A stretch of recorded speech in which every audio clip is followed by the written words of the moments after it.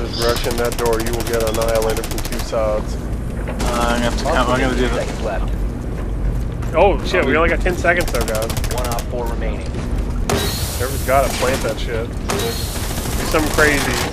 Five seconds left. I can't see the fucking door. There we go. Planning.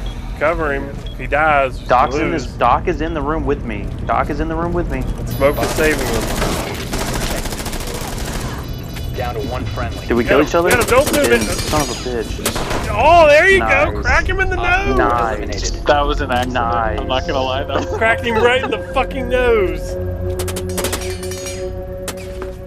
that was an accident, but it worked. What- Doesn't matter. oh god, there you go.